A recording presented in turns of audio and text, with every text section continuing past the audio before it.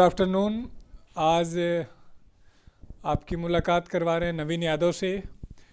नवीन यादव सी G L दो हज़ार अट्ठारह में अभी तक थर्ड टॉपर बने हुए हैं। इनके मार्क्स 600 में 608.6 हैं। तो मैं अन अकेडमी के मन से आप सभी का स्वागत करता हूँ और मैं विशेष रूप से इन बच्चों की तरफ़ से भी नवीन का स्वागत करता हूँ। और नवीन से मैं चाहता हूँ कि नवीन अपने आप को इंट्रोड्यूस करें एक बार। उसके बाद हम फिर क्वेश्चन सीरीज़ आपके साथ शुरू करेंगे। नवीन। सबसे पहले थैंक यू तो मैं नवीन यादव, ये मेरा फ़र्स्ट अटैम्प्ट था।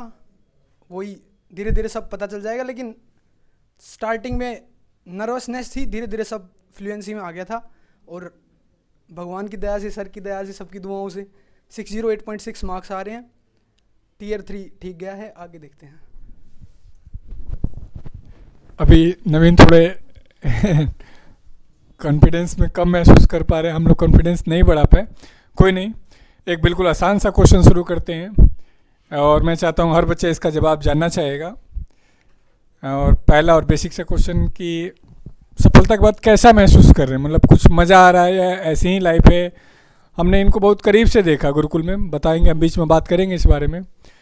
तो मैंने कुछ अंतर महसूस किया है, हो सकता है ये बता लेंगे तो ठीक है, नहीं तो मैं बताऊँगा क्या अंतर है। आप मतलब क्या अपने पर्सनल लाइफ में क्या ऐसा फील कर रहे हैं जो हमारे साथ आप शेयर करना चाहेंगे सब रिज़ल्ट के बाद? सर जैसे खुद के बारे में इंसान की सोच होती है ना, खुद के बारे में, बस वो थोड़ी बढ़ जाती है। फैमिली आपको देख रही है, वो थोड़ा नज़रिया बदल जाता है। मतलब मेन यही है कि आप खुद की नज़र में उठ जाते हो और इससे बड़ी कोई बात नहीं हो सकती। बहुत जवाब दे रहे हो यार। आप आप शेयर करें कि आपने मतलब एक साल कितने मुश्किलों से मतलब वो किया था। उससे पहले हम चाहते हैं कि एक बार आपको गुलदस्ता दे के नरपाल मोर वेलकम करेंगे। तो एक छोटी सी ताली बजा देंगे मेरे बच्चों, हम चलें थैंक यू हम चलो क्वेश्चन को थोड़ा सा फिर चेंज करके आपसे शुरू करते हैं। आ, कब डिसाइड किया कि आपने ऑफिसर बनना है सी क्वालिफाई करना है और सीजीएल के थ्रू देश की सेवा करनी है? मैं चाहूँगा इसको आराम से आंसर करेंगे आप। जैसे सबसे पहले मेरी एसएससी की जर्नी जर्नी स्टार्ट हुई जून 2017 के आसपास। जैसे जब एक इंसान जैसे मैं कॉलेज में था हिंदू कॉलेज से हूँ मैं दिल्ली यूनिवर्सिटी तो कुछ नहीं दिख रहा था तो दोस्त ने बोल दिया एसएससी कर ले। सबके साथ मैक्सिमम के साथ यही होता है। तो फिर मैं कोचिंग वगैरह गया। तो मैक्सिमम मुझे ऐसे लोग मिले जो मतलब सेकंड या थर्ड अटैम्प्ट दे रहे थे। थोड़ा उन्होंने नेगेटिविटी भर दी। तो अस्सी नब्बे मैंने मॉक दिया, मेरे एट्टी टू के आसपास मार्क्स आए थे। उन्होंने कट ऑफ़ दिखाई। मैं डर गया। तो फिर मैंने छोड़ दी तैयारी। मैं कोचिंग भी नहीं गया ढंग से। फिर टाइम बीता सब कुछ टूट चुका था मतलब कि जैसे ग्रेजुएशन में मैं पास आउट हुआ तो मेरे को लगा था, बस अब तू ख़त्म है तो कुछ नहीं कर सकता। तो जैसे फिर ऐसे हुआ कि दोस्तों से पता चला सर के बारे में, गुरुकुल से पढ़ा हूँ मैं स्टार्टिंग में। तो मेरा बस कमज़ोरी ये थी, मैं कहीं ना कहीं मानता हूँ कि मैं कर तो सकता हूँ, लेकिन पढ़ नहीं पा रहा था मैं लगातार। मैं दो घंटे पढ़ लिया, फिर कहीं फ़ोन या कुछ और, दोस्त वगैरह। तो फिर मैं 2018 18 मई को मेरा एग्ज़ाम ख़त्म था 19 मई को मैं गुरुकुल में था। तो 19 मई को सर ने बताया जैसे कि ऐसे ऐसे पढ़ना है कि इतने घंटे तुम अभी नहीं कर पाओगे धीरे धीरे कर जाओगे। तो मैंने सच बता रहा हूँ, कभी नहीं सोचा था कि मैं 12 घंटे पढ़ सकता हूँ। कभी नहीं सोचा था मैं। आज तक ना कभी पढ़े थे। तो फिर धीरे धीरे स्टार्टिंग में कुछ ऐसा हुआ कि दिमाग कहीं भाग रहा है, सामने बुक रखी है। फिर धीरे धीरे करके दिमाग सेट सेट होता आ गया और मतलब फिर तो क्या बताऊँ लास्ट तक तो ऐसा हो गया था, मेरे लिए खेल था सब। मैं, मेरी और सबसे अच्छी चीज़ ये रही कि मैं स्टार्टिंग से लेके लास्ट तक सब कुछ फ्लुएंसी में चला है मेरा। मैंने ब्रेक नहीं दिया जितना, चाहे थप्पड़ मारना हो खुद को, चाहे कुछ भी करना हो, लेकिन मेरा ये है कि भाई बनाया है तो करना है।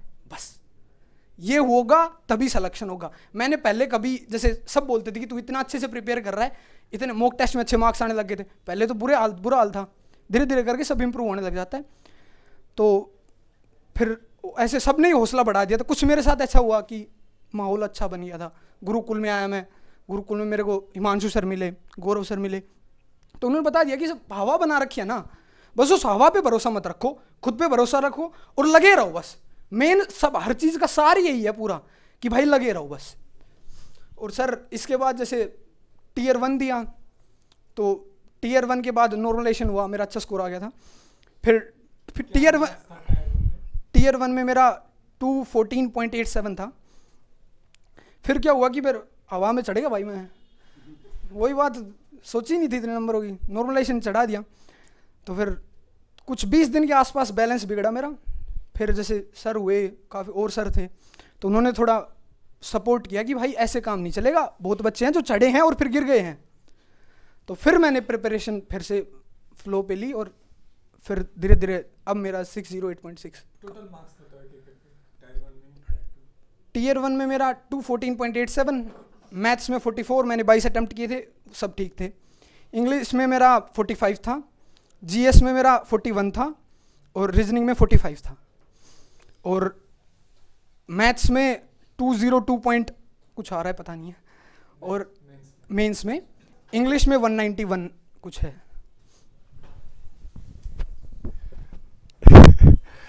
मार्क्स सुन के कुछ कॉन्फिडेंस आ रहा है? नहीं आ रहा है, डर लग रहा होगा, है ना? नहीं, डरना नहीं है यस यही पॉइंट जो इन्होंने कहा कि आपके पास डराने वाले लोगों की संख्या ज़्यादा होती है जैसे इन्होंने बोला भाई कि माहौल बना दिया गया था कि तुम नए हो, तुम्हारे मार्क्स कम आ रहे हैं क्वालिफाइंग मार्क्स इतने हैं, उन चीज़ों से बच गए तो बात बन जाएगी। और एक इन्होंने अच्छे से बता भी दी, हम सभी इस चीज़ को फेस करते हैं। रेगुलरिटी नहीं बन पाती है कई बार, है ना? तो इसने बोला, नहीं, मैं बताता हूँ। दिवाली भी नहीं इंजॉय किया इन्होंने, है ना? दशहरा भी नहीं इंजॉय किया है। जो ये कूद कूद के भागते हो ना कि घर जाना है, घर पे ये है, पंद्रह दिन हो गए, मन नहीं लग रहा है पढ़ने में। तो मतलब आप शायद मतलब मैं नहीं बोलूँगा, मैं बोलूँगा तो आप बुरा मानेंगे। तुम ही बोलो जो बोलना चाह रहे थे। यस जैसे मैं प्रिपेयर कर रहा था तो एक भाई को घर जाना है। अब उसको ये लग रहा है, ये तो पढ़ रहा है भाई। अब कुछ ना कुछ तो करके जाऊँ कि ये ना पढ़े। तो वो ये बोल गया तो भाई घर का ना भी टाइम तो देना पड़े से तो बस वो कुछ नहीं, फिर दो बार थपकी मार के, कोई ना भाई। और भाई टायर टू दे लो, घर ही रहना है। एक बार टायर टू में खींच दो अच्छे से। टीयर थ्री अपने आप कर लोगे टायर टू खींच गया तो। बस इससे ज़्यादा तो क्या बोल सकता? हूँ अभी जैसे तुम्हारे लगभग साठ दिन बचे हैं। मुझे पक्का है कि नहीं, इसमें भी तुमको ब्रेक चाहिए, इसमें भी तुमको घर पे जाना है, तुम पता नहीं कहाँ जाना मुझे नहीं पता। ये मतलब हमारा दुख है, हम जो शेयर कर रहे थे आपस में, कि मतलब मैं, जो तुमको महसूस किया, तुमको देखा वो, और जो मैं बाकी को देखता हूँ वो तो मेरी क्या शिकायत रहती? है तो यूँ ही हम बात कर रहे थे कि हम इस पर बात करेंगे। खैर एक और आसान सा अच्छा सा क्वेश्चन इससे भी बच्चे अपने आप को जोड़ पाएँगे। टॉपर हैं आप, है ना? तो क्या आपको भी कभी निराशा हुई? मतलब लगा कि यार, मेरे से नहीं हो पाएगा, मैं मतलब पता नहीं कैसे कर रहा हूँ, सभी लोग, मेरे दोस्त इतने आगे निकल गए। तो कैसा रहा हुआ? मतलब आपका निराशा वाला दौर आया क्या? और आया तो आपने उसको कैसे अपने आप को बाहर किया उससे?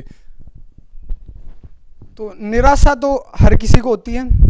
और हर हफ़्ते होती है, सच बात है। हर हफ़्ते में एक दिन तो ऐसा आता है कि जिस दिन तो बिल्कुल लग जाता है, भाई बुक फाड़ दे, अब ना हो आता है, सबके साथ होता है कि, भाई, दिमाग हो लियो गर्म।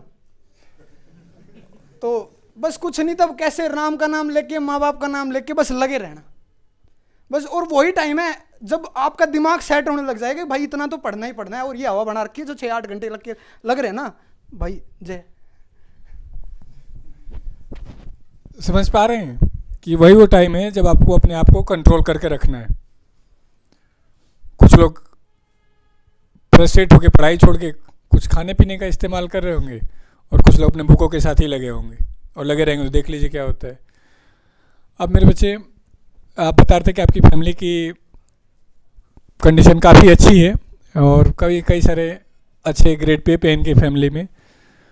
तो मैं यूँ ही पूछना चाह रहा हूँ आपसे कि क्या मतलब फाइनेंशियली वीक होते तो आप कम पढ़ते या ज़्यादा पढ़ते या कुछ मतलब जो आपका फाइनेंशियली स्टेटस ठीक था या ठीक है तो उससे आपको क्या बेनिफिट हुआ जो बाकी बच्चों को जिसकी मतलब चुनौती का सामना करना पड़ता है? उसको आप किस नज़र से देखते हैं अपनी फैमिली के स्टेटस के हिसाब से?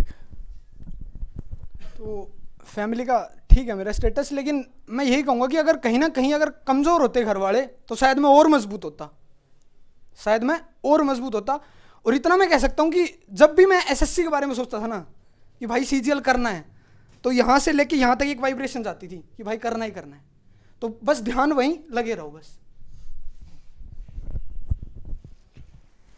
चले बहुत टू द पॉइंट जब आप दे दे रहे हैं। तो क्वेश्चन ख़त्म हो जा रहे हैं। बाकी चलें। टायर वन की आपकी स्ट्रेटजी क्या रही? आपने मतलब क्या स्पेशल किया है जिससे बाकी बच्चों से आप इतना आगे इतना अच्छा नंबर लेके आ पाए आपने जीएस में फोर्टी वन मार्क्स ले लिए, जो कि बहुत मुश्किल है टफ है हमारे बच्चों के लिए। मैथ में तो चलिए लेके आ जाते हैं। हाँ मैथ में आपका अच्छा पॉइंट रहा कि आपने ट्वेंटी टू किए ट्वेंटी टू के ट्वेंटी टू राइट थे। इंग्लिश में अपने आपने फोर्टी फाइव बता दिए। रीजनिंग में भी शायद फोर्टी वन बोला है आपने। फोर्टी फाइव तो लगभग सब में नाइन्टी परसेंट मार्क्स चल रहे हैं आपके। तो आपकी ऐसी क्या स्ट्रेटजी रही जो इन बच्चों को बताना चाहिए आपको?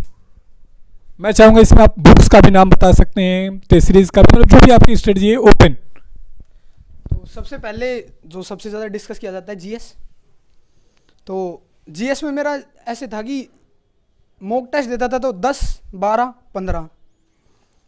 तो धीरे धीरे जीएस का ये होता है कि पढ़ भी रहे हो, लेकिन मार्क्स फिर भी नहीं आते। सच बात है। लेकिन मैं यही बोल रहा हूँ कि जितने बार हो सके, अब मेरा क्या खासियत है, मेरी खासियत है, मैं रट्टू हूँ, बहुत रट्टू हूँ मैं। मैं समझ नहीं सकता। लोग बोलते लूसेंट पढ़ लो लूसेंट पढ़ लो। भाई, पढ़ ले, कुछ समझ नहीं आया मेरे तो। एक बार पढ़ ली, पल्ला ही नहीं पढ़ा कुछ। नंबर आ नहीं रहे। तो फिर जैसे एक सेलेक्टेड उन्होंने बताया कि भाई, मनोहर पांडे की तीस रुपये वाली बुक आती है, पतली सी। तो मैंने प्रीवियस ईयर उठाई, हिस्ट्री पढ़ रहा हूँ मैं। हिस्ट्री के साथ साथ पहले मैंने उसको अच्छे से रटा। मैं रटू तो हूँ, मैंने सब कुछ अच्छे से रटा। हिस्ट्री को, पॉलिटी को। अब हिस्ट्री मैंने उठाई और हिस्ट्री में से एक एक क्वेश्चन जो उसके अंदर नहीं था ना। प्रीवियस ईयर से। मैंने वो ऐड कर दिया उसके अंदर। समझ रहे हो? फिर पॉलिटी में ऐसे ही किया। ज्योग्राफी फिर मैंने एक एनडीए पाथ फाइंडर के नाम से बुक आती है। उसके अंदर एनसीईआरटी का यू समझ लो एनसीईआरटी का सार है उसके अंदर। बड़े मज़े आते हैं उसको पढ़ने में। तो उससे कुछ रटा, कुछ पढ़ा। तो बायो अब अब कुछ ये हो गया था, मेरे टेस्ट में आखिर में बायो हर बार गलत हो रही थी। और बायो का उसके अंदर लल्लू सा टॉपिक था, कुछ मतलब मज़ेदार नहीं है, मज़े नहीं आया उसको रटने में, मनोहर पांडे में। तो फिर मैंने ल्यूसेंट का फिर ये सोच लिया कि एक एक पेज जो है ना, वो मेरे रटा होना चाहिए ल्यूसेंट का, क्योंकि मेरे को मार्क्स लेने थे, कुछ भी हो जाए, मेरा सलेक्शन तो होना चाहिए था। अब मेरा आखिरी वही था कि भाई सलेक्शन हो, कुछ भी कर ले इसके लिए। तो बायो ऐसे ही पढ़ी, फिर धीरे धीरे करके सारा कवर किया और फिर उसके बाद जब वो सब हो गया तो प्रीवियस ईयर मेरे लिए आसान बन गया था, क्योंकि जब मैंने प्रीवियस ईयर ही पढ़ रहा हूँ एटलीस्ट मैं, रट तो मैं प्रीवियस ईयर ही रहा था। तो फिजिक्स केमिस्ट्री थोड़ी ठीक थी, मेरी मतलब इतना वो रटने की ज़रूरत नहीं थी फिजिक्स केमिस्ट्री को। स्टेटिक आखिर में रटी थी, जहाँ से भी अवेलेबल हो सके, मैं स्टेटिक को रटता चला गया। जब फिर जीएस में जैसे 41 तो मतलब मेरे मॉक टेस्ट में मेरे 44 भी आए हैं जीएस में, लेकिन एवरेज स्कोर मेरा 35 के आसपास आ गया था। अब आप सोच सकते हो 10 12 से 35 तो ये सारा वो बस मैं शायद मैंने चार महीने जीएस पढ़ी थी, क्योंकि एक साल तक तो कोई डेट ही नहीं आई मतलब एक साल तक हमारा पेपर नहीं हुआ। तो फैब के आसपास तक मैं बिल्कुल मैथ इंग्लिश पीक पे पहुँच गया था मैं। तो उसके बाद सर ने बोला कि कोशिश करके तू जितना हो सके जीएस को खींच दे। अब मेरी ताकत रटने की थी, मैंने पूरा रट लिया। और अब मैथ्स की बात करते हैं तो मैथ सबसे पहले मैं स्टार्टिंग में आया तो अब हम लोग कोचिंग क्यों लेते क्योंकि हमें पता नहीं होता है कि क्या आना है पेपर में। सबसे सबसे बड़ी बात होती है। तो मॉक टेस्ट वगैरह देते थे, उसमें अब मेरा ये, मैं बेसिक तो ठीक है, लेकिन गलती हो जाती थी कि मैं मॉक टेस्ट में मैथ्स तक ही पहुँचता था। इंग्लिश तक पहुँच ही नहीं पाता था, सबसे स्टार्टिंग में। स्पीड मैटर करती है, एक घंटे में करना है। तो ये हुआ कि सबसे पहले उन्होंने बता दिया राकेश तो क्लास नोट्स आते थे, अब भी आते हैं। तो मैंने, वो सर बोले कि कम से कम इतना हो सके कि तू पाँच बार तो इनको कर। और मैं सच बता रहा हूँ, मैंने प्री से पहले शायद सात बार तो वो किए हैं। और कई बार तो ऐसा किया है कि बस मतलब एक क्वेश्चन को इतना अच्छे से पढ़ लूँ मैं, इतना अच्छे से उसको समझूँ कि कई बार तो एक घंटे में दो क्वेश्चन ही समझ पाता था मैं स्टार्टिंग में। धीरे धीरे करके सब फ्लुएंसी में आ जाता है। तो सबसे पहले मैंने राकेश यादव क्लास नोट्स को अच्छे से किया। जितना अच्छे से हो सकता है, मैंने किया। अब राकेश यादव क्लास नोट कर लिया, फिर किरण में जहाँ जहाँ मुझे कमी लगी ना, जिस यूनिट में मुझे कमी लग रही थी, क्योंकि Rakesh Yadav class note overview दे देता है आपको कि एसएससी के अंदर क्या क्या आ सकता है। फिर मैंने किरण में जहाँ जहाँ मुझे वीकनेस लग रही थी, मैंने किरण को सोल्व किया। अब उसके बाद मैंने क्या किया कि सर ने मेरे को मदर्स वाले, अब मैं बोल रहा हूँ कि सिर्फ़ एक बुक पढ़ना है, क्योंकि एक बुक का क्वेश्चन नंबर टू दूसरी बुक का ट्वेंटी सेवन मिलेगा। तो कोई फ़ायदा नहीं, आप दस बुक पढ़ रहे हो, एक ही बुक को पढ़ लो। तो फिर उसके बाद मदर्स की बुकलेट आती है। अब मैंने उनको सोल्व किया तो बाद में पता चल, भाई ये तो किरण ही है। बराबर बात होगी, बस ये हो गया कि एक बार और कर ली। तो फिर उसके बाद मैंने फिर से एक बार राकेश राकेश यादव क्लास नोट मैं सोचा उठा लेता हूँ। तो उसके साथ साथ हमारे ये रहता तो मैंने मैंने डेली एक मुक दिया एटलीस्ट एक तो दिया है। लगभग यूँ लगा लीजिए टीयर वन तक मैंने ढाई सौ से ऊपर तो दिए ही दिए मोक क्योंकि तीन सौ पैंसठ दिन से ऊपर हो गया था मेरा टीयर वन में। प्रिपरेशन का और शायद मैंने कोई गैप भी नहीं दिया। मैक्सिमम यूँ लगा लो, तीन सौ पैंसठ दिन में मेरा दस दिन गैप नहीं आया होगा टोटल और शायद कोई ऐसा दिन नहीं हुआ होगा जिस दिन मैंने बुक देखी ना हो, जिस दिन मैं पढ़ाई ना हूँ।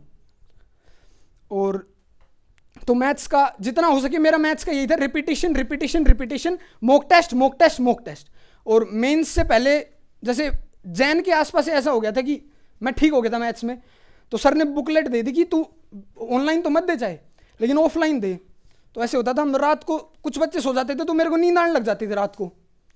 तो फिर मैंने यही चीज़ सोची कि यार, कैसे आगे जाएगा तू? दूसरों से आगे कैसे जाएगा जब वो सारे ग्यारह बजे सो रहे तू भी ग्यारह बजे सो जाएगा। तो फिर मैंने ये किया कि जब सारे ग्यारह बजे सोने जाएँगे तब मैं ग्यारह बजे मॉक टेस्ट स्टार्ट कर दूँगा। तो और सच बता रहा हूँ स्पीड अच्छी हो गई थी उस टाइम पे। 2015 वाला इस टाइम के कंपैरिजन में से 2017 कंपैरिजन में आसान था। तो वो पेपर और कुछ मैं प्रीवियस ईयर कर चुका था तो लगभग क्वेश्चन आते थे। तो वो डेढ़ घंटे, सवा घंटे, पौने दो घंटे के आसपास खत्म हो जाता था पेपर जितना हो सके जो क्वेश्चन नहीं आया, जो गलत हो गया, या जिस क्वेश्चन में टाइम लग गया, उनको एनालिसिस करके फिर सोता था मैं। और फिर ये था कि, सच बता रहा हूँ मैक्सिमम टाइम तो ऐसा होता था कि मैं बच्चों से लेट सोता था, और बच्चों से पहले उठता था। और वो ये नहीं है अब मैं गधे घोड़ों की तरह सोता हूँ अब तो। लेकिन उस टाइम ये था कि मैं सबसे लेट सो रहा हूँ सबसे पहले उठ रहा हूँ उनको जगा रहा हूँ और। और अब आ, आप अलार्म बजा लो घंटा फ़र्क नहीं पड़ेगा। अब रीजनिंग के पे आते हैं। मैथ्स का सबको क्लियर है? मैथ्स में बस यही है आपको रिपीट करना है जितना हो सके। चाहे कोई बुक कर लो हाँ कुछ बोलते हैं जैसे ऑनलाइन हाँ ज़रूरी है मैं बोल रहा हूँ ऑनलाइन ज़रूरी है। लेकिन वो एक टाइम पे ज़रूरी है जब तक आप पीक पे ना पहुँच जाओ। आपको बेसिक मेथड के पीक पे पहुँचना है। और मैं लिख के दे सकता हूँ एग्ज़ाम टाइम पे आप पे इतना प्रेशर होगा, इतना प्रेशर होगा, आपको ट्रिक का घंटा याद नहीं आएगा। आपको बस बेसिक मेथड से ही सोल्व करना पड़ेगा क्वेश्चन को। मतलब कुछ होंगे एक्सपर्ट लोग तो उनका पता नहीं है। उसके बाद रीजनिंग की बात करते हैं। रीजनिंग का सब मॉक टेस्ट से क्लियर हुआ था। कुछ कैलेंडर वगैरह ये यूनिट होती है, ये थोड़ा नोट से पढ़ लिया था। इंग्लिश इंग्लिश का सबसे पहले, जैसे इंग्लिश में सबसे पहले गुरुकुल में आया। तो अब भाई हम गाँव से हैं तो सबसे, हमारी सबसे बड़ी वीकनेस इंग्लिश है। और मैं बोल रहा हूँ, मैंने मैथ से ज़्यादा इंग्लिश ही पढ़ा है। वो मार्क्स मेरे थोड़े ढीले रह गए इंग्लिश में। लेकिन मैथ से ज़्यादा मैंने इंग्लिश ही पढ़ा है। इंग्लिश में जैसे अब सबसे बड़ी दिक्कत होती है मेरे जैसे वो कैब हवा। तो वो कैब का जैसे रटते तो या तो भी याद नहीं हो पा रही थी। अब मैंने क्या किया कि एक एस के डामीवाल सर है, उनकी दो बुकलेट आती है। उससे ज़्यादा नहीं पढ़ी मैंने। अब तो शायद और भी आगे होगी। दो बुकलेट आती है एंटोनोम सिनोनोम नाम से। तो उसके अंदर ये होता है कि जैसे कोई वर्ड है, उसमें से कुछ हिंट उठा रहे हैं आपके लिए, और फिर उसके बाद उसकी पिक्चर है। तो उससे रिलेट होकर माइंड में मैप सा बन जाता था वो। तो धीरे धीरे ऐसा हो गया कि बस वर्ड देखा और वो फ़ोटो आई और अपने आप मतलब पता चल गया। तो पहले सबसे पहले दो वो रटी, फिर नीतू सिंह रटी, फिर मैं फिर बोलूँ मैंने रटी? भाई समझ में अपने नहीं आता। फिर उसके बाद मैंने एक वो 2017 में अच्छे मार्क्स थे उनके तो उन्होंने बताया तो मैंने एस पी बख्शी बुक होती है एस पी बख्शी की दोनों पार्ट पढ़े, तीसरा पार्ट नहीं पढ़ा। बाकी पहले जो दो वो कैब के पार्ट है, वो अच्छे से पढ़े। अब ये है कि मेन ये वो कैब तो बहुत ज़्यादा टाइम मांगी वो कैब ने बहुत ज़्यादा टाइम मांगा था मेरा। लगभग यूँ लगा लीजिए, जनवरी के आसपास तक मेरा क्लियर हो पाया था वो कैब वाला जो, वो मतलब स्ट्रॉन्ग वाला होता है ना कि अब तो हो जाएगा। अब ग्रामर पे आते हैं तो ग्रामर पे सबसे पहले तो मैंने कोशिश की दो बार कम से कम नित्य सिंह को पढ़ लूँ। अब भाई नित्य सिंह भी मैंने कई बच्चे देखे जो एक यूनिट को, पंद्रह मिनट में पढ़ जाते हैं। अब फिर मेरा टू तोता समझ में तो आता नहीं है। तो मैंने कोशिश की कि मैं कुछ भी हो सके, मैं रटू उसको। तो मैंने जितना हो सके, मेरे को लगभग डेढ़ घंटे के आसपास लगता था, डेढ़ दो घंटे लगते थे एक यूनिट को पढ़ने में, नीतू सिंह में। तो मैं बोल रहा हूँ, अपनी ताकत के हिसाब से चलना है आपको। अगर आप पंद्रह मिनट में समझ पा रहे हो उसको, पंद्रह मिनट में समझो, रटने की कोशिश मत करना। अब मेरी जो ताकत थी, मैं उस पर लड़ा। आप जितनी ताकत है ना आप में, जिस चीज़ के लिए, उस पर लड़ो। तो नीतू सिंह पढ़ी। नीतू सिंह के बाद मैंने एस पी बख्शी के जो पूरा नहीं पढ़ा, सिर्फ़ जो एक्सरसाइज में पंद्रह पच्चीस पच्चीस होते, पंद्रह पंद्रह मैं भूल रहा हूँ। तो वो होते, बस वो पढ़े ताकि उनसे मुझे ये पता चल जाए कि हाँ मुझे कुछ आ रहा है। फिर भी पढ़ी, फिर भी मेरी ग्रामर इंप्रूव नहीं हुई इतनी। फिर मैंने वो किरण की बुक आती है, उसकी किरण तिहत्तर सौ इंग्लिश वाली। तो उसमें लगभग चौबीस सौ थे शायद। चौबीस सौ मीरर ऑफ़ कॉमन एरर दो हज़ार ऐसे ही वो थे इम्प्रूवमेंट वगैरह। तो वो सब जितने, मैंने शायद दो बार तो एटलीस्ट किए थे। तो उनसे उन, उनको पढ़ के आइडिया लगा था कि एरर ऐसे छाटते हैं। फिर मेंस के टाइम पे मैंने मिरर ऑफ़ कॉमन एरर दो या तीन बार पढ़ी थी तो फिर उससे और भी अच्छा और उसके साथ साथ प्री के टाइम ही मैंने मिरर की जो इक्यावन क्वेश्चन होते हैं एक्सरसाइज के पीछे तो एक्सरसाइज और इक्यावन क्वेश्चन साथ साथ कर लिए थे मैंने प्री के टाइम पे, क्योंकि बहुत टाइम था हमारे पास। तो इंग्लिश का ऐसे किया था और मेरी सबसे बड़ी, मैं गलती पे फोकस ज़रूर करूँगा, क्योंकि मेरी जहाँ पे गलती की वजह से मार्क्स नहीं आए तो इंग्लिश में सबसे बड़ा मैंने न्यूज़पेपर नहीं पढ़ा। मैंने जनवरी फरवरी का आसपास पढ़ा था, बाद में छोड़ दिया, मैं सोचा घंटा। तो उसके बाद तो फिर उसके बाद न्यूज़पेपर नहीं पढ़ा तो मेरा उसमें कम मार्क्स आए थोड़ा। बाकी आपको फिर यही कहूँगा कि आपको अपनी ताकत पे लड़ना है। सर।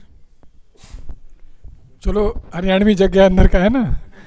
और इन्होंने इंग्लिश में 191 मार्क्स को कम बता रही है और इन्होंने बताया कि अपनी कमी क्या थी, उसको कमी क्या बताएँ? एक चीज़ जो मैं चाह रहा हूँ ये बोलें, और आप लोग को जानना ज़रूरी है, खासकर ऑनलाइन बच्चे देख रहे हैं, आप लोग जो जुड़े हुए हैं उनसे, वो एनर्जी कहाँ से आती थी कि रात को मतलब सब कोई सो जा रहे हैं, फिर आप जगे हुए हैं, सभी लोग सो रहे हैं, फिर आप उनसे पहले उठ जा रहे हैं। मैंने मतलब कई बार देखा कि मतलब आपका जो डेडिकेशन ज़बरदस्त, कई बार मैं एग्ज़ाम्पल देता हूँ इन बच्चों को जब वैसे बात करता हूँ कि जब तक जुनून नहीं रहेगा।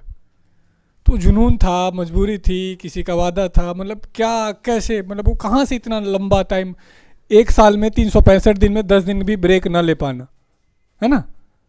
हमको बहुत सारे लोग मिल जाएँगे जो कहेंगे, नहीं रे, कुछ नहीं नॉर्मल हो जाता है।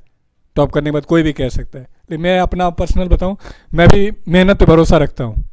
और ये भी एक अच्छा एग्ज़ाम्पल है, जिसको मतलब जो साबित करे कि हाँ मेहनत का कोई विकल्प नहीं है। होते होंगे कुछ जीनियस टाइप के लोग। हम जीनियस नहीं हैं शायद। टॉपर हैं, लेकिन जीनियस नहीं, मेहनती हैं। ये तो मैं भी देख रहा हूँ, और आप भी शायद बातों से समझ पाएँगे।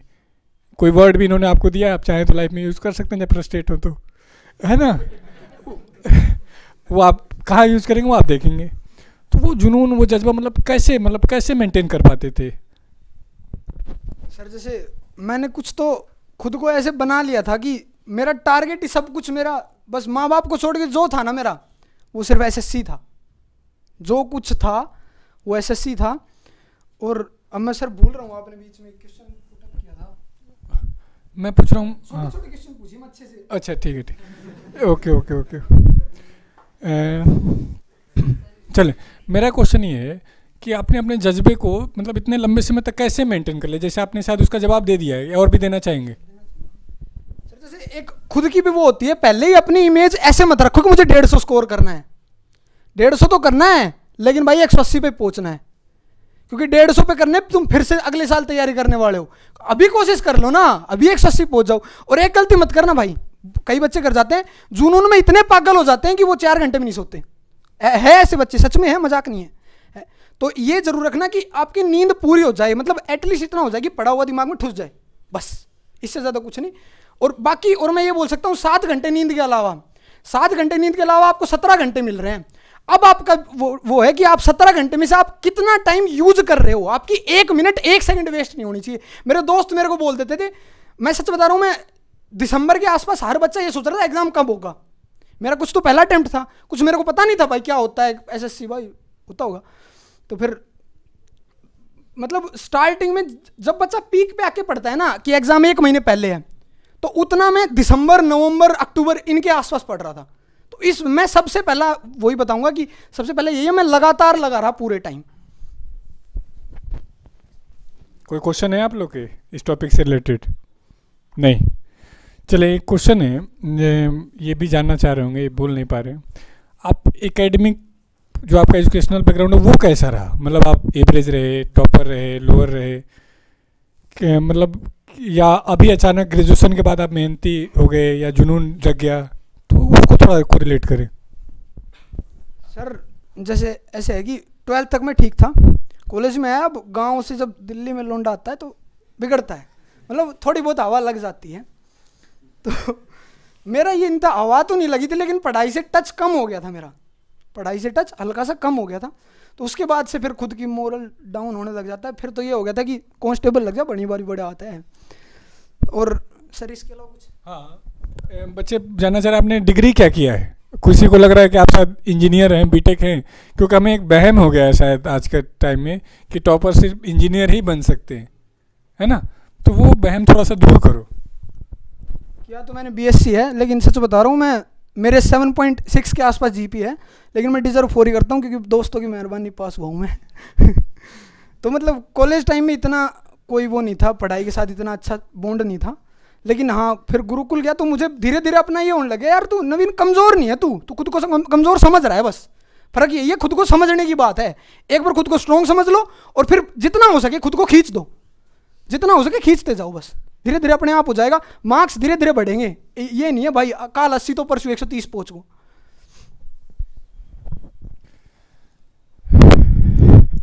अच्छा लग रहा है। मुझे ज़्यादा अच्छा लग रहा है। ये मतलब ये मैं जैसे बोल रहा है ना, मैं वैसा ही चाहता हूँ आपको। और उस बच्चे को जो मतलब तैयारी कर रहा है मतलब मैं बोल दे रहा हूँ, मैं नहीं बोलना चाहता, मैं बोल दे रहा हूँ। ये कायर लोगों के लिए है नहीं कंपटीशन वम्पटिशन आप कुछ भी कर लें, आप मतलब मरे हुए लोगों के लिए तो नहीं है, ज़िंदा होना होगा। और ज़िंदा होने के लिए क्या करना पड़ता है? बड़ी मेहनत करना पड़ता है। अब इसी क्वेश्चन को मैं कोरिलेट कर रहा हूँ, ये बोलेगा तो ज़्यादा अच्छा लगेगा। तुम जैसे गुरुकुल में रहे तो तुमने बहुत सारे बच्चों को देखा जो मतलब किस तरीके से रहते थे उनकी शिकायतें क्या थी उनकी क्या एक्सपेक्टेशन थी? तो मैं चाह रहा हूँ इनको भी पता चले। मुझे इनसे भी शिकायत है। ये दिन में बारह घंटे के लिए आते हैं फिर भी मैं देखता हूँ कि उतने सीरियस नहीं है। चौबीस घंटे वाला तो चलो एक घंटे नहीं भी हुआ तो कोई दिक्कत नहीं। तो अब मैं इस क्वेश्चन को ऐसे कोरिलेट कर देता हूँ कि हम्म, मैंने किसी इंटरव्यू में पूछा नहीं लेकिन आज मैं पूछ ले रहा हूँ कि आप गुरुकुल को अपनी सफलता के लिए कितना बड़ा योगदान मानते हैं? और थोड़ा सा वहाँ का एक्सपीरियंस शेयर करिए क्योंकि मैं कई लोगों को जवाब देना चाहता हूँ। बहुत सारे लोग प्रश्न लगा के गए, है ना? तो मैं चाह रहा तुम जवाब दो उसका।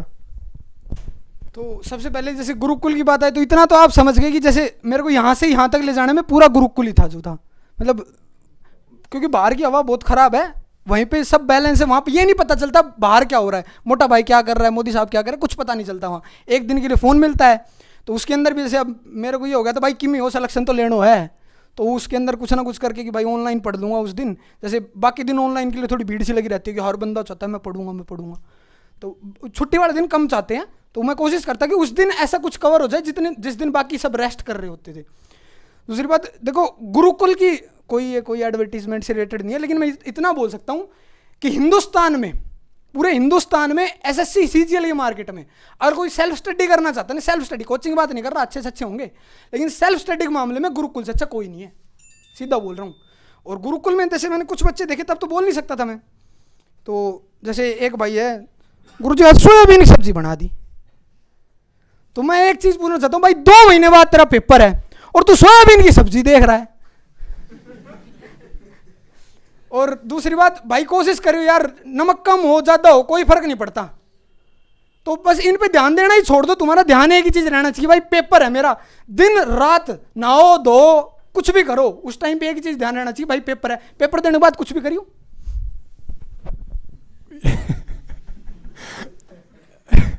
बहुत शॉर्ट में आंसर दे जा रहे लेकिन ऐसे ही जवाब देना है ना, क्रांतिकारी टाइप से, बिल्कुल।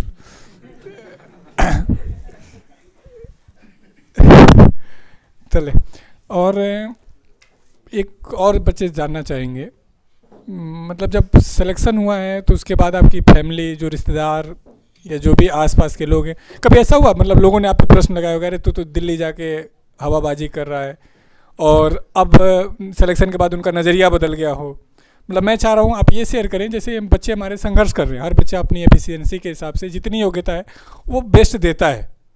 किसी मेरी योग्यता कम है तो मैं आठ घंटे में थक जाता हूँ, मैं थोड़ा और कम हूँ तो मैं चार घंटे में। नहीं फिर भी मैं कहलाने के लिए स्टूडेंट हूँ।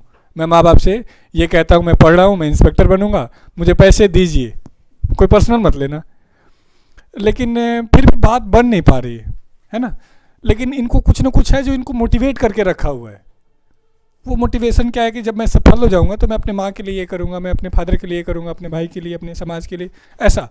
तो क्या मतलब ऐसा लगा कि आप वो चीज़ कर पाए जो सोच रहे थे या उनका नज़रिया बदला या कोई ऐसा एक्सपीरियंस जिसे इनको मतलब इनको भी जीने का बहाना मिल जाए जैसे ये है कि मेरा मेन एसएससी को करने का मोटिव यही था कि जैसे हर का होता है मुझे माँ के लिए, बाप के लिए क्या करना है? तो मेरा ये था कि मैं सोचता था ना, दिमाग में एक मैप सा बनाता था तो मेरा ये रहता था मुझे मेरी माँ को कार गिफ्ट करनी है खुद की कमाई से, बस।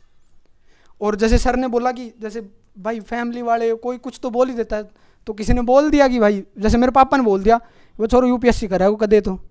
तो फिर बोले, भाई एसएससी तो करा ले पहला यू यूपीएससी बाद में करा लिए। तो वो थोड़ी चुप गई वो बात। और जैसे कुछ मम्मी पापा का सपोर्ट मेरा बड़ा अच्छा था तो मैंने जैसे ये हुआ कि मेरा कुछ ऐसा बता रहा हूँ कि ऐसा हो गया तो मेरा एसएससी के अलावा कुछ करना ही नहीं है। तो एमएससी के एग्ज़ाम आ रहे थे मेरे तो मेरे सर ने भी बताया कि भाई, चार एग्ज़ाम है तेरे। तो तेरे को चार दिन के लिए चार दिन और देने पड़ेंगे तो एटलीस्ट आठ या दस दिन तो खराब होंगे, और टच छूटेगा तेरा। तो फिर मैंने घर वालों को चालीस हज़ार फ़ीस भर दी तो प्राइवेट में दी तो नहीं लगती है। तो फिर मैंने घर वालों को बोला, सच बता रहा घर वालों ने एक बार कुछ नहीं कहा मतलब कुछ भी नहीं कहा घर वालों ने सीधा बोल दिया कि भाई तू कोई ना, जो तू करना चाहता है वो तू कर ले। उस दिन तो ये हो गया था भाई अब तो सलेक्शन लेनो से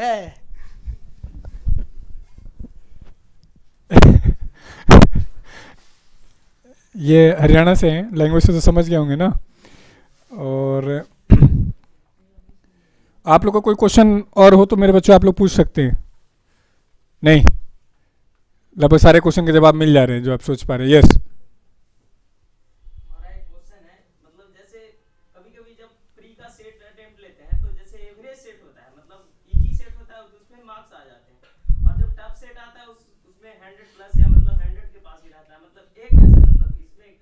चले।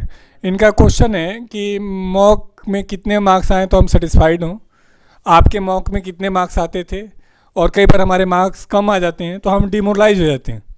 तो ऐसा तो नहीं, ये मतलब ये कोचिंग वाले जो टेस्ट सीरीज़ दे रहे हैं, ये हमारे कॉन्फिडेंस को तोड़ने के लिए है, या ये हमारे मज़बूत करने के लिए है तो उस समय हमारा रिस्पॉन्स कैसा हो? और ये जोड़ना चाहेंगे कि आपके मार्क्स कितने आते थे? तो सबसे पहले तो मैं चाहूँगा कि मॉक टेस्ट के कोचिंग वालों पे तो देखना है, कभी नोट करना। जैसे ही प्री जैसे मैंने नोट किया था प्री खत्म होता है। प्री के जस्ट बाद जो भी कोचिंग सेंटर मॉक टेस्ट बनाएगा, वो हमेशा टफ बनाएगा। क्यों? ताकि बच्चा घबराए। घबराते उसको दिखेगा भाई, ये टीचर बड़ा तगड़ा करवाता है। तो सलेक्शन तो तभी होगा जब मैं इससे पढ़ूँगा। तो थोड़ा इस चीज़ को नोट रखना है। मैं, मेरी कुछ एक गलती बता रहा हूँ। मेरी मेरी गलती हुई थी मैं बता रहा था ना, बीस दिन में हवा में हो गया था। तो कोशिश करनी है आपको कि प्री देते ही, अगले दिन। घर तो यार बाद में भी चले जाना, क्या फ़र्क पड़ता है? तो प्री देते ही अगले दिन से 2017, 18, 16 सबके प्री और मेंस के मैथ इंग्लिश ज़रूर होना चाहिए आपका सोल। 20 दिन के बाद सब बच्चे तैयारी में लग जाएँगे तब आप मतलब इतना है कि 10 में से 8 बच्चों से आगे अपने आप निकल जाओगे।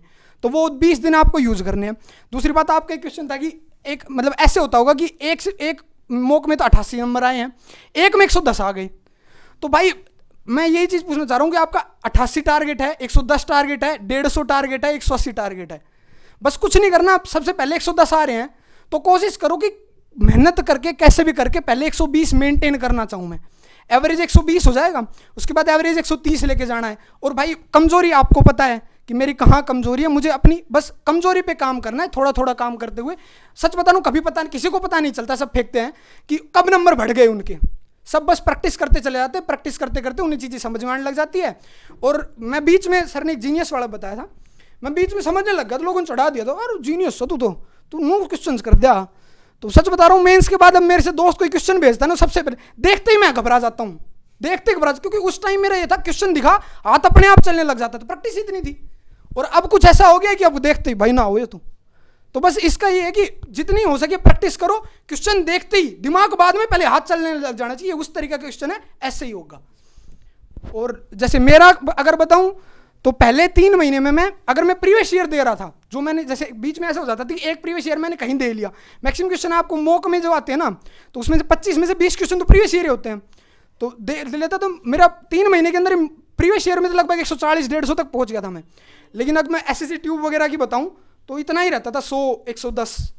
तो धीरे धीरे धीरे धीरे करके, और मैं जीएस जब, मैंने जीएस स्टार्टिंग में नहीं पढ़ी थी, जनवरी, फरवरी के आसपास तक तो जब मैंने जीएस नहीं पढ़ी थी तो मेरा स्कोर कभी भी इतना नहीं गया। एक सौ साठ से ऊपर चला गया वो कभी भी।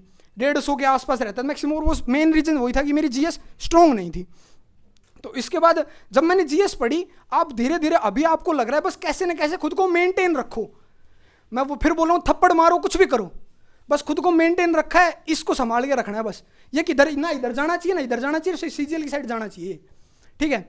और धीरे धीरे करके अपने आप पता नहीं चलता कैसे स्कोर इंप्रूव हो जाता है और मेरे मेंस में जैसे मई में तो स्कोर गिरने लग गया था, अप्रैल के आसपास में पीक पर पहुँच गया था तो ऐसे होता था कि एस एस में मेरी सेवन रैंक आ रही है प्री में। वन कभी नहीं आई मेरी, तीन आई थी एक बार, सात आई थी और क्यू मैथ्स में दो आई थी मतलब इतना ही चला था मेरा एवरेज और जैसे मेरे को कुछ ये हो गया था कि मैंने टारगेट इतना वो सेट कर लिया था। 130 पे 140 मुझे खुशी तो होती थी, जब मैं 110 पे था और मेरे 130 आ जाते थे तो मुझे खुशी तो होती थी, लेकिन मैं खुशी होते ही मैं खुद को यही रियलाइज़ करा देता, भाई तेरा टारगेट तो 180 है, वरना सिलेक्शन नहीं होगा। और एक बार टीयर वन में स्कोर ले आओ कॉन्फिडेंस में सबसे बड़ी चीज़ तो कॉन्फिडेंस है। बच्चे पढ़ते हैं, लेकिन एग्ज़ाम में जाके घबरा जाते हैं। तो कैसे ना कैसे खुद के अंदर एक कॉन्फिडेंस ले आओ कि भाई तू कर सकता है। एक बार कर लोगे कॉन्फिडेंस आ जाएगा टीयर वन में अच्छे मार्क्स आ गए, अपने आप टीयर टू में अच्छे मार्क्स आ जाएँगे। तुम लोग के लिए जो बैठे हुए हो बताया, शायद ध्यान दिए, नहीं दिए। मौक के बाद अपने गलतियों को एनालाइज ज़रूर करो। मेरा अपना मानना है कि तुम लोग टेस्ट देने के बाद पलट के भी नहीं देखते हो। इसलिए तुम्हारे मार्क्स और नहीं बढ़ रहे हैं। यदि मान लीजिए आपने सौ क्वेश्चन किए हैं, तीस गलत हैं तो उन तीस पे यदि काम करेंगे तो अगली बार कम से कम पंद्रह उनमें से गलत नहीं होंगे। मैं तो चाहता हूँ तीस के तीस ना हो। हाँ वो मेरी ज़िम्मेदारी है एज ए संस्थान एज ए टीचर कि मैं इस तरीके से टेस्ट बनाऊँ कि उसको भरोसा करके तुम काम करो। तो वो मैं कर रहा हूँ, वो मेरी ज़िम्मेदारी। लेकिन वो तुम्हारी ज़िम्मेदारी है कि वो तुम उस पर एनालाइज ज़रूर करो। इन्हें बोला है बीच में, तुमने ध्यान दिया, नहीं दिया तो उस पर ज़रूर काम करना है। एनालिसिस पे एक पॉइंट ऐड अगर करूँगा मतलब कई बच्चे हैं बुक मार्क कर लेते हैं कि बाद में कर लेंगे। मैंने भी किए थे, कई क्वेश्चन तो मैंने बुक मार्क किए थे, वो बाद अब तक ख़त्म नहीं हुआ है मेरा।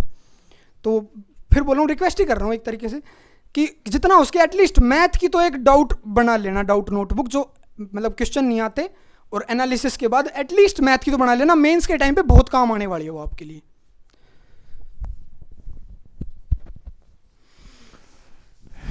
आपसे क्वेश्चन बन नहीं रहे लेकिन चलिए क्वेश्चन और बताइए कि जो हमारे बच्चे सी जी देने जा रहे हैं, उनके पास आज से फिफ्टी नाइन डेज़ हैं लगभग। और हम ये मान के चलते हैं कि सेवेंटी प्लस वाला बच्चा इस बार सीरियस बच्चा है, जिसको मतलब अभी मतलब हम किसी को हम डिमोरलाइज नहीं कर रहे हैं, चाहे ऑनलाइन ऑफलाइन आपके मार्क्स कितने भी आ रहे हो, हम उस पर नहीं प्रश्न लगाएँगे। लेकिन मान लेते हैं कि फोर्टी परसेंट मार्क्स आ रहे हैं उसके ऑन एवरेज अब उस बच्चे को fifty fifty sixty seventy percent वाले भी उस बच्चे की अब रणनीति क्या होनी चाहिए अगले साठ दिन? जैसे ए, एक तो ये क्वेश्चन है कि ये साठ दिन में कैसे करें उसके बाद दूसरा क्वेश्चन में एक और इसी से रिलेटेड पूछूँगा। तो पहले आप इस पर बात करेंगे कि अगले साठ दिन में इनकी रणनीति क्या हो। देखो आखिरी साठ दिन है तो कम से कम इतना तो अपने हिसाब से बनाना कि जितना हो सके मोक तो देने ही देने हैं। एक बार अच्छे से प्रीवियस ईयर वगैरह कवर करके एक बार पूरा ताकि हमें पता चल जाए कि एग्ज़ाम में ऐसा फॉर्मेट होता है, इस टाइप के क्वेश्चन आते हैं और ये ऐसे सोल्व करने पड़ते हैं। फिर जितना हो सके मोक दो। अब ये नहीं है कि आप दिन में पाँच मोक दे रहे हो। एटलीस्ट बस ज़्यादा मतलब मैक्स पे दो दे दो बस। लेकिन उन दो का एनालिसिस इतना तगड़ा होना चाहिए कि दूसरा बच्चा दस कर रहा है तो उससे अच्छा मेरा एनालिसिस होना चाहिए। सबसे बड़ी चीज़ ही एनालिसिस है रियल में। मोक तो है ही बड़ी चीज़, लेकिन उससे अच्छी ज़रूरी चीज़ जो है ना, वो एनालिसिस है। क्लियर है? अभी आपको मॉक पे ही काम करना है। और, अभी कम से कम दो। ज़्यादा ज़्यादा जो किसी भाई का होगा, जो इस टाइम 80 पे होगा और उसको लग रहा है कि जैसे मैं 2020 दे लूँगा अभी से तो मैं बता रहा हूँ कि कोशिश मतलब तुम्हारा, मैं ना पक्का लिख के दे सकता हूँ मैं। अगर आप 80 पे हो, और अगर ये बाकी उनसठ दिन आपने इफ़ेक्ट मतलब एफिशिएंटली पूरा तरीके से यूज़ किया है ना पूरा तरीके से। मतलब खुद का माइंड सिर्फ़ एग्ज़ाम पे। तो मैं लिख के सकता हूँ सिलेक्शन तो क्या आप टॉप हज़ार में आ सकते हो अब भी। हाँ।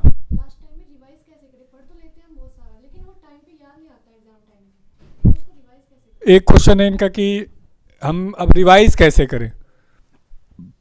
ये ये आपने ऐसे बताना है कि भाई साठ दिन में भी कैसे रिवाइज करते चले और लास्ट में भी कैसे रिवाइज करें? जैसे रिवीजन का ही है कि हम रिवीजन को मतलब प्रोकास्टिनेट करने करने लग जाते हैं कि भाई अब करेंगे, बाद में करेंगे, बाद में करेंगे, और वो बात कभी ख़त्म नहीं होता है। तो सबसे पहले खुद को यही बस समझाना है कि भाई सबसे पहले रिविज़न और रियल बात यही कि रिविज़न से ही सलेक्शन होगा। रिवीजन से ही मार्क्स आते हैं रिवीजन से ही आप नया मतलब जो नया कब तक सीखते रहोगे, पहले पुराना सीखा है उसी को ही तो अच्छे से बिठा लेंगे हम। तो रिवीजन तो करना पड़ेगा, और एटलीस्ट अगर आप ऐसे मैनेज कर सकते हो तो कि छः दिन पढ़ा, एक दिन रिवीजन मतलब जो की पॉइंट्स है एटलीस्ट वो तो रिवाइज करने ही करने हैं।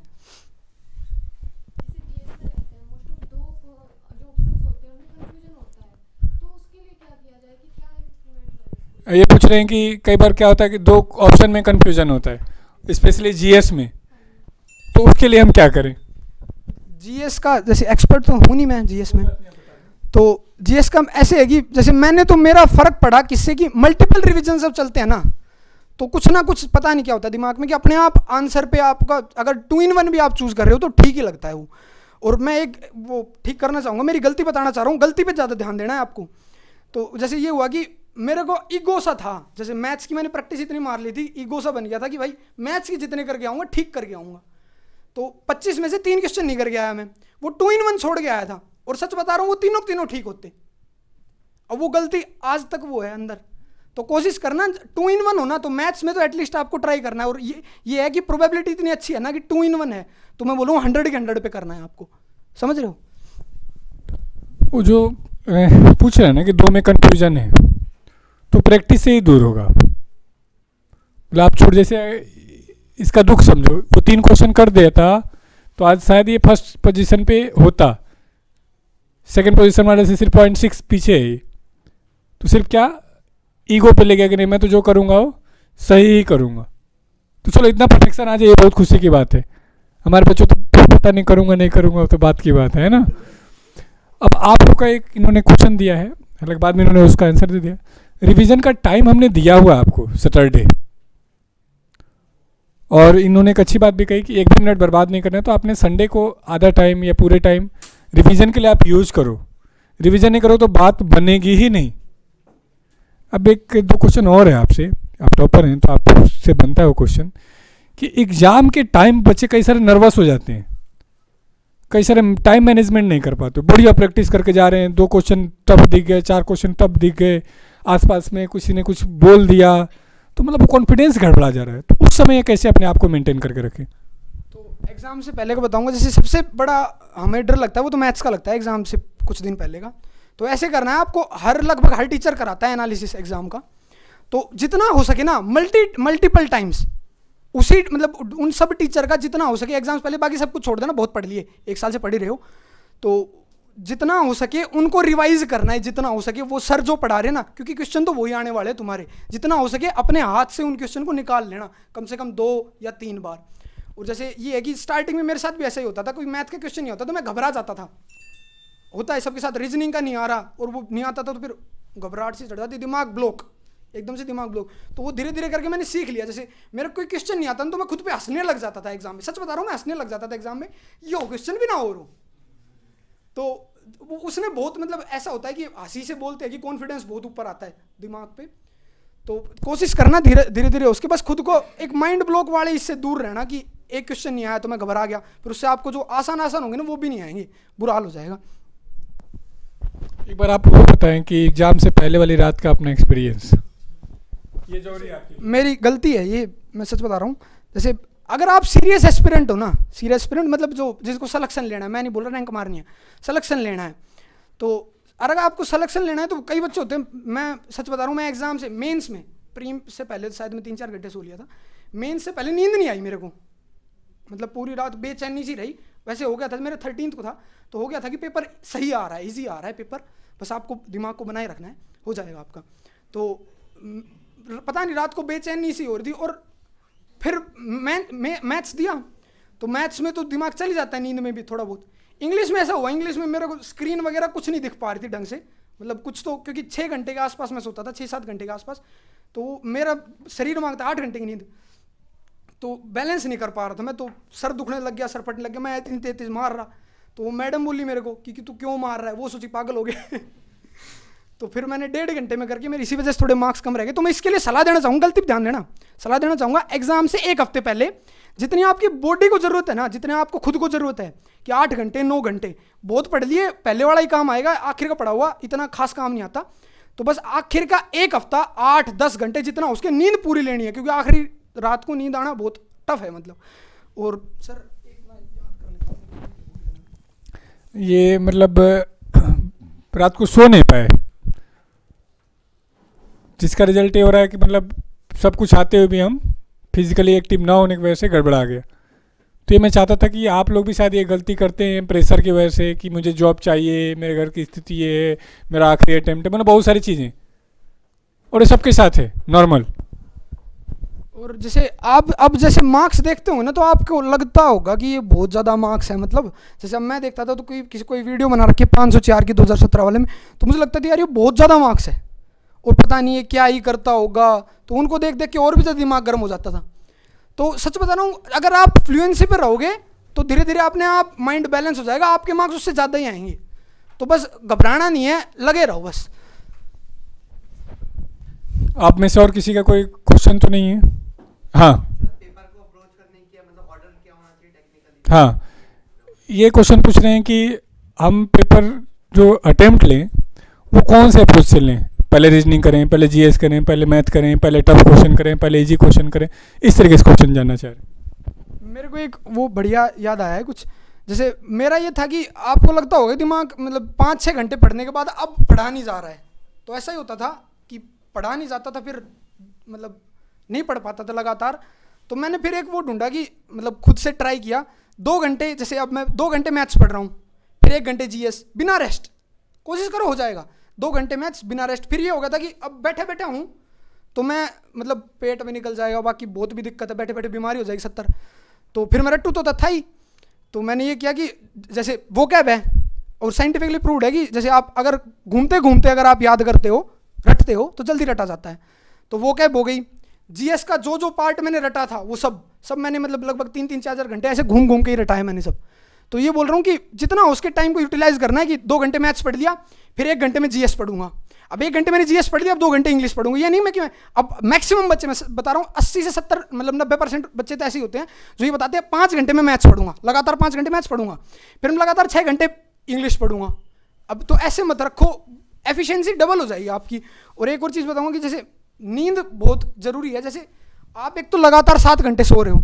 एक करके देखो, सच में फ़ायदा होता है। अगर आपको मिल रहा है तो टाइम। छः घंटे रात को सो एक डेढ़ घंटे दिन में सो जाओ। डबल एफिशिएंसी आएगी, पक्की बात है। क्वेश्चन का जवाब नहीं मिला शायद आपको। आप हाँ एक दो, यहाँ दो चीज़ और एक्सप्लेन करना है एक तो कि आप सुबह जो हम टाइम देते थे वो कैब के लिए जीएस के लिए, वो टाइम ये बच्चे घर पे रह के, यहाँ अपने पीजी में रह के ऑनलाइन वाले जो हैं, वो उसी तरीके से यूटिलाइज करें। जैसे इन्होंने बोला कि आपको दो बार सोने का मौका मिले तो मिले। हम लोग यही कर रहे हैं अभी। रात को छः बजे, बारह से छः का सोने का टाइम दे रहे हैं। और दोपहर को एक से ढाई। तो वो मान लीजिए रात को एक घंटे, आधे घंटा लेट से भी सोए तो दोपहर में आपका लगभग एक डेढ़ घंटे में कवर हो गया। आप लोग नहीं सोचेंगे ऐसा। ऐसा कोई फिक्स फार्मूला नहीं है। आप जिस तरीके से कर पाए। हाँ लेकिन सुबह वाले टाइम का जो हमने इंपॉर्टेंस बताना चाह रहे थे, वो बताना। और फिर उस बच्चे का क्वेश्चन था कि कौन सा क्वेश्चन सेक्शन पहले करें, कौन सा बाद में करें। दोनों जवाब देना। सबसे पहले तो भाई वाला, जैसे आप पहले ही पाँच मॉक टेस्ट दस मॉक टेस्ट ऐसे रख लो और उसके अंदर बना लो कि मैं इस इसको मतलब ऐसे ऐसे करूँगा, सबसे पहले इसमें जीएस करूँगा, फिर मैथ्स करूँगा, फिर रीजनिंग जैसे आपको ठीक लगे।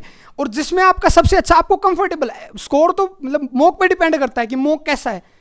मेरी कैपेबिलिटी तो मुझे लगातार मॉक देते जाऊँगा ना, तब पता चलेगी। तो बस दस पंद्रह मॉक पकड़ लो, उनको अपने हिसाब से दो कि सबसे पहले जीएस करनी है, इसमें मैथ्स करना है। जिसमें सबसे ठीक लगे आपको तो वही आप सेलेक्ट कर लो। सर आपका क्वेश्चन क्या था? मॉर्निंग में पढ़ने का जो हाँ जैसे सर इसमें मैं एक एक चीज़ जैसे कई बार होता है हमारा कि दिमाग मतलब एक दिन तो हम पूरा मन लगा के पढ़ लिए अगले दिन सुबह उठता है तो मन करता है कि आज ना पढ़े। वो तो जाओगे आज ना पढ़े जाओ। तो मेरा ये रहता था कि मैं कोशिश करता था रात को ये मैंने पढ़ा हुआ है कि रात को जब हम सोते हैं ना तो उससे पहले कुछ मतलब फालतू की चीज़ नहीं आनी चाहिए। माँ बाप बाबू सुनना कुछ याद ना आना चाहिए।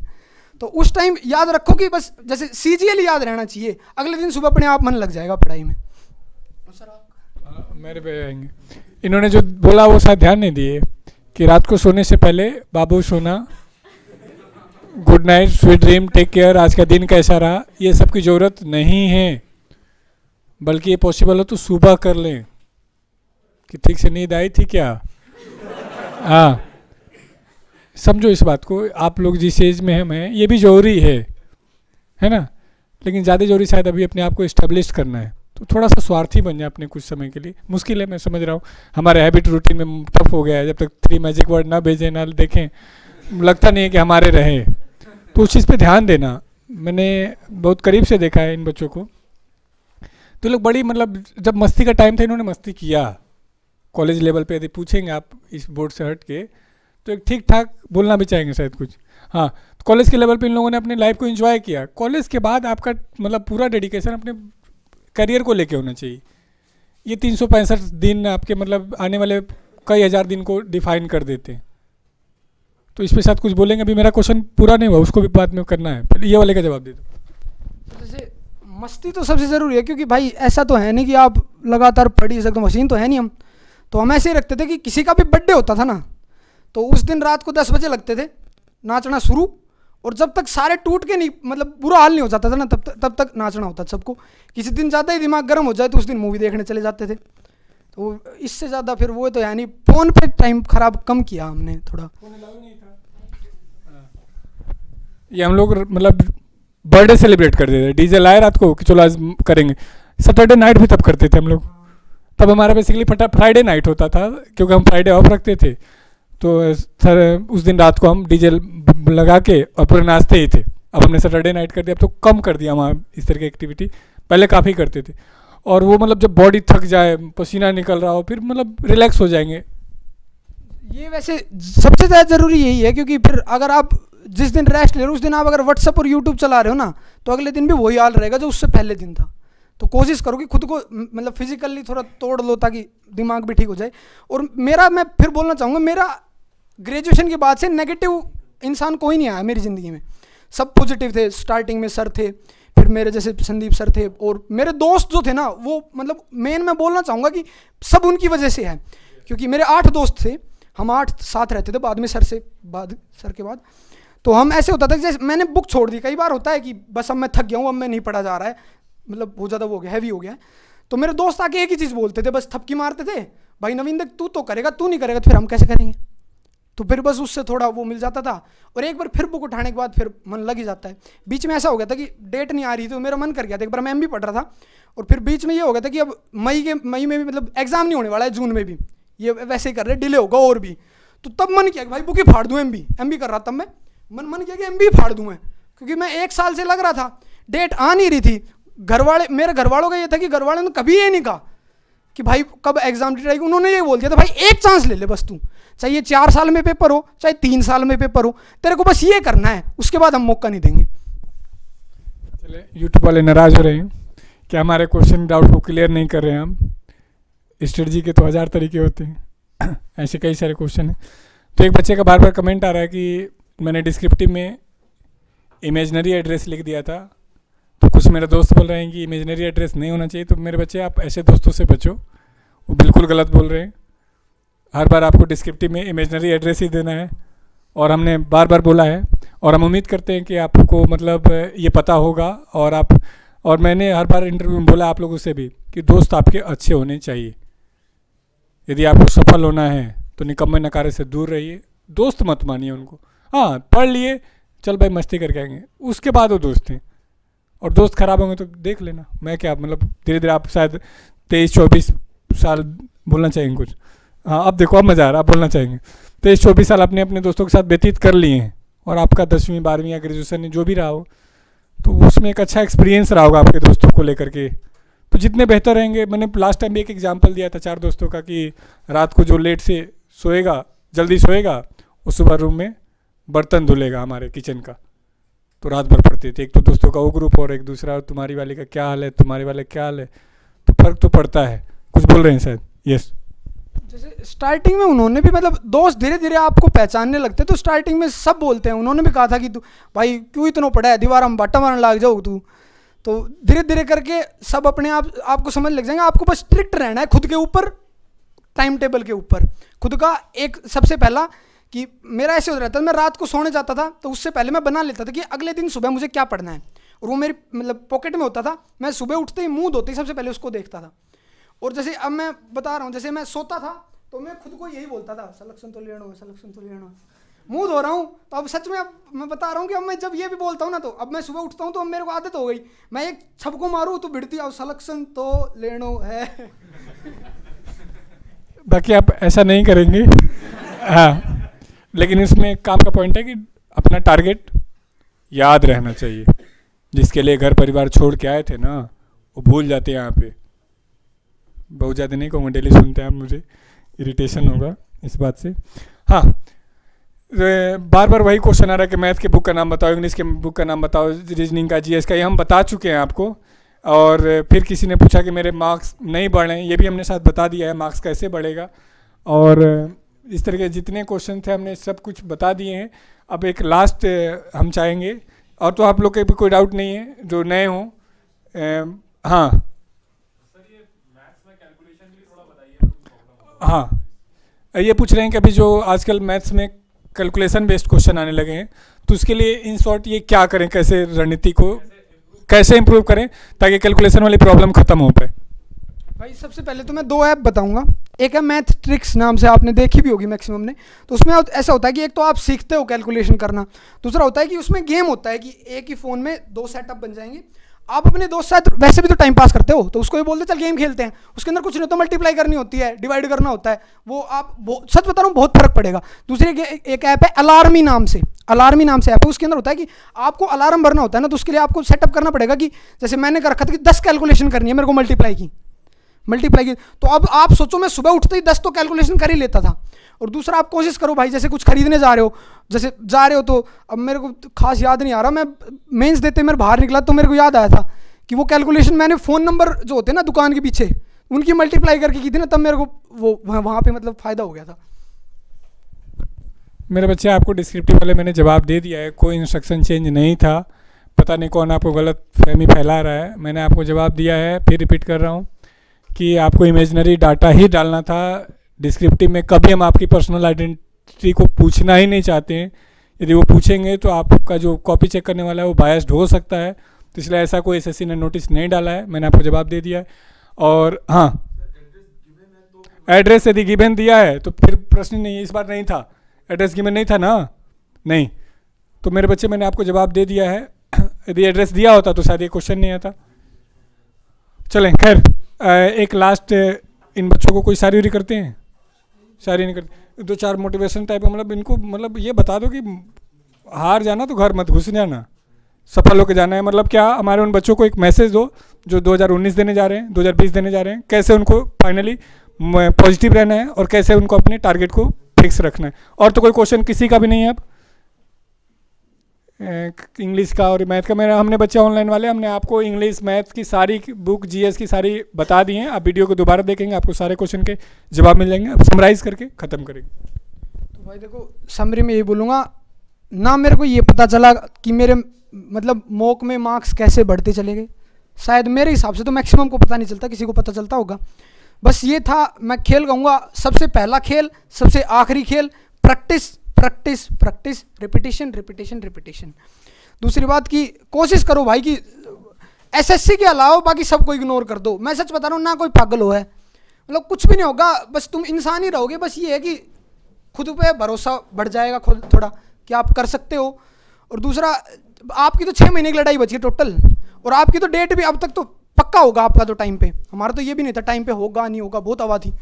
और कोई दोस्त अगर कुछ ऐसा बहाना भी बता रहा है ना कि भाई लेट होगा या एस में कुछ ऐड होगा, इस बार ये हो जाएगा, इस बार ये हो जाएगा तो कुछ ना जय बोल के चल देना, ठीक है? और अगर कोई जैसे मार्क्स कमा रहे हैं तो दोस्त ज़रूर पूछता है, आज कितना है तेरा? मैंने देखा है काफ़ियों को तो वो पूछते हैं तो कोई नहीं, अपनी तरफ़ से थोड़ा बता दो, अगर मैक्सिमम ज़्यादा आ रहे हैं ना तो भी उसको थोड़ा बताओ, उसको खुश रहने दो रिज़ल्ट आने के बाद उसको सब पता चल जाएगा अपने आप तो कोशिश करो खुद को समझाने की दूसरा कोई, दूसरे बहुत कम समझाते हैं, बाद में समझाने लग जाएँगे, नंबर आने लग जाएँगे तब। पहले कोई नहीं समझाता, पहले खुद को समझाना पड़ेगा।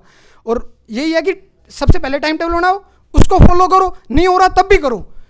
नहीं हो रहा तब भी करो और फिर मतलब वीकली बना लो मंथली बना लो। एक एक चीज़ का आपको पता होना चाहिए, मुझे उस दिन ये पढ़ना है, उस दिन ये मुझे इसका रिवीजन करना है, हर चीज़ का पता होना चाहिए, बाकी सब बाद में। और आप लकी हैं कि हमने ये सब बना के दिया हुआ है आपको। चलो एक बात ये मैं और इनका शेयर करता हूँ। ये हमारी टेस्ट में कभी टॉपर नहीं रहा। ये आश्चर्य की बात है। पोजीशन नहीं आते थे। स्टार्टिंग में तो बिल्कुल नहीं आता हाँ तो इसलिए हुआ था वो 88 से हुआ। हाँ इसलिए हाँ इसलिए यदि नंबर कम आते हों तो मेरे बच्चों आपको घबराना नहीं है।